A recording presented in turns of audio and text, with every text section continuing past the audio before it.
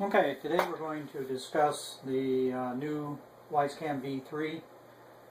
As far as uh, using extension cords and uh, the current cords I've provided with the cameras. Uh, currently I have the V3 connected to the standard 6 foot cord that is um, provided with the camera. I've got it going through a breakout box I built and I'm using the Wyze standard uh, power brick which is um, rated at 1 amp thousand um, milliamps.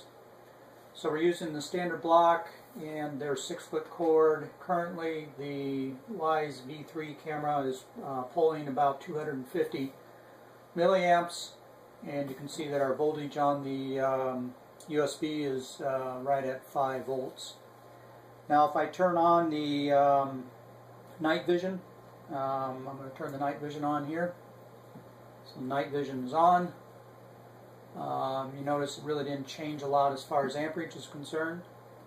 Now I'm going to turn on the um, IR lights. They have two different options for the V3. They have a uh, near, so I'm going to choose near. Let's see what that brings us up to. You'll see that we're at uh, about 340 milliamps. Now I'm going to choose far and actually the far IR lights which are visible here um, actually lower just a little bit there. So anywhere from 300 milliamps to it's, yeah, it's ranging right around 300 milliamps. So the most current that this camera does pull is when the near IR lights are uh, on and night vision is on. And we're pulling right around 330 milliamps. You notice with our 6 foot cord here that uh, 5.03 volts, uh, the power pack is able to deliver uh, consistent power. Um, we don't have a lot of resistance in this power line. So let's go ahead and choose a V2. I've got two V2s here. And let's go ahead and plug in one of my V2s. See what that's set at. I do have both of these V2s set with the only option for IR on and also night vision is on. So you'll see once it's finished booting.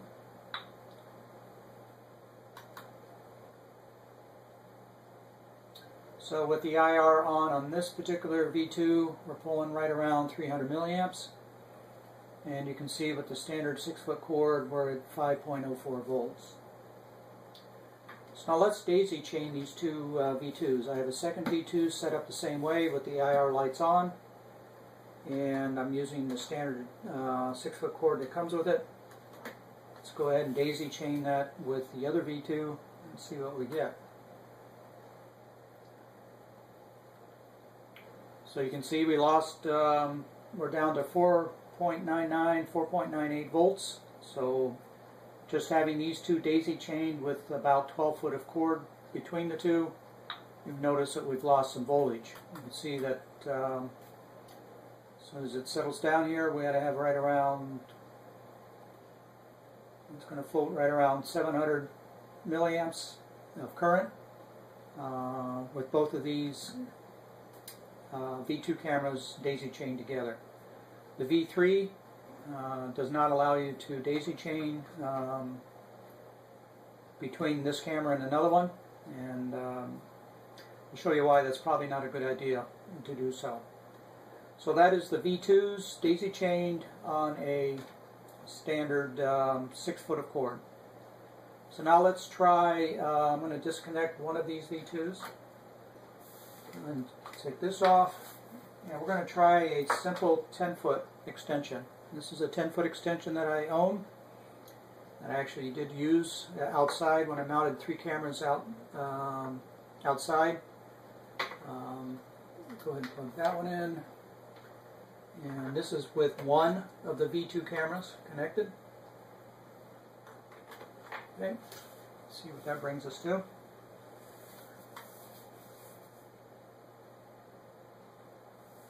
We'll wait for it to boot.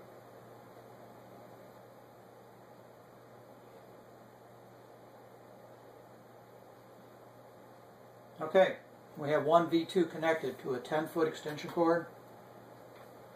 You can see that uh, we're pulling uh, a little bit more current. We're about uh, 312, 310 milliamps. But you notice here, look at our voltage drop. We're at uh, 4.95, 4.96 volts with just one single 10 foot extension, plus the original 6 foot of cord that uh, Wyze provides. Let's go ahead and try an additional um, 10 foot of cord. Here's an additional 10, so this will bring us up to 20 foot.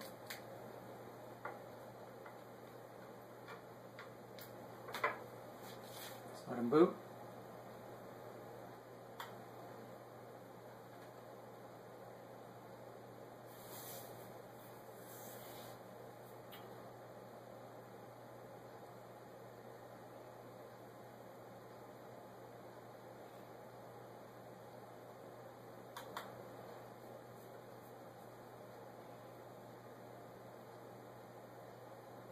Okay.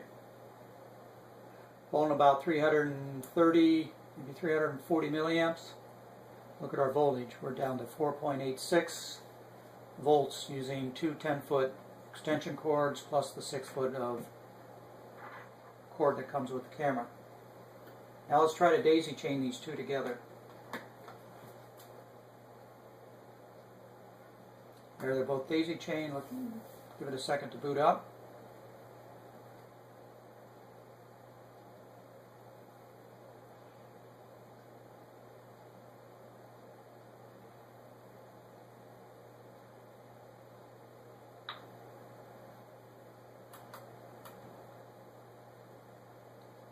Okay, we're at about um, 750 milliamps.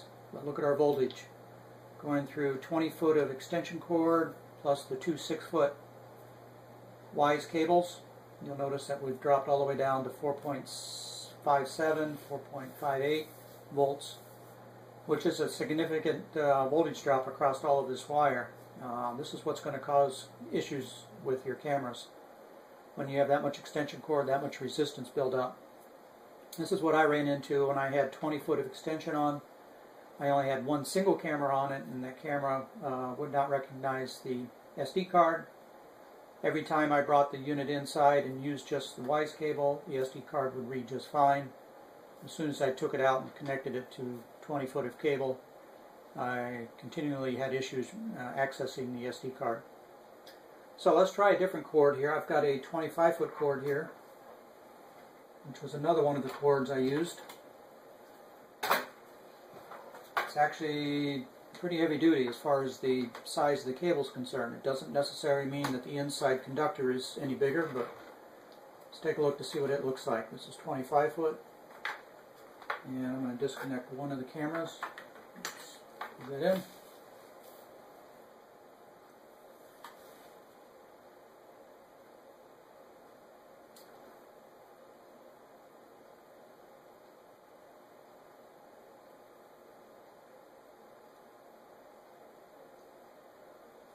So you'll notice that um, this 25 foot cord, you would think that the bigger outside would result in some bigger cable inside, but it doesn't necessarily mean that. We're all the way down with just one V2 camera on, down to 4.55 volts. Once again, we're pulling right around 330 milliamps. So you can see the voltage drop across this length of wire is quite significant. We're down all the way down to 4.52 um, that's the range that you're going to start having issues with your cameras when you get that low. Let's go ahead and daisy chain this with the second V2. See what we get. So we got the 25 foot plus the two 6 foot cords. So you notice it goes way below 4 volts. Uh, actually, I think this is going to sit here and this one camera is going to continue to reboot um, just because it's got such a low voltage it goes back through a reboot process. And so there it went again. It's going to reboot again. So once again running a 25 foot extension and the two 6 foot cables um, definitely is a situation where it's way too low voltage to operate these cameras correctly. I have one other cord to try. Let's try it. It's a 25 foot USB cord that I used on one of my cameras in the front of the house. Um, it's a white cord that has a uh, micro USB on it. I have no idea what brand it is. I purchased these two years ago. So let's take a look to see what it's like at 25 foot. And I have to use an adapter here.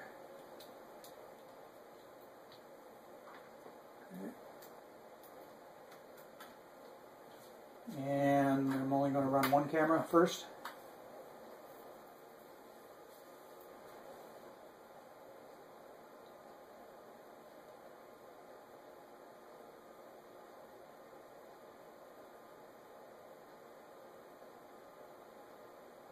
Okay, so you can see with just 25 foot of this white cord, we're already down to 4.68, 4.7 volts, still drawing about 330, 340 milliamps current. I'm going to go ahead and daisy chain this one.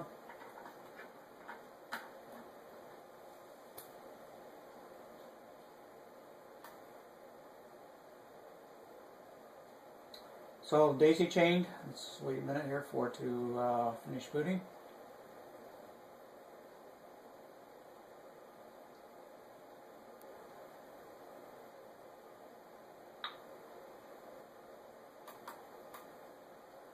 There we go. So we're at 4.1 volts with this 25 foot cord on it. This cord actually is faring a little better than this, this heavier cord is, just by a little. So once again we're into that zone where this camera will probably uh, reboot every once in a while because of the low voltage. Once again, if you're having camera issues and using extension cords, I would highly suggest you do not daisy chain and you try to use extension cords that are 10 foot or shorter. Um, I haven't tried all brands, uh, I haven't been shopping for cords uh, recently, but uh, because I had issues with these V2s out there, I was not going to hook up a V3 under these low voltage conditions, so I've reduced the length of my cable out there. There's nothing currently outside this uh, any greater than 10 foot extension. So I've checked the voltages outside and um, I'm ranging right around the 5 volt mark on all of my cameras outside now. So now I feel safe about installing my new uh, V3 out there.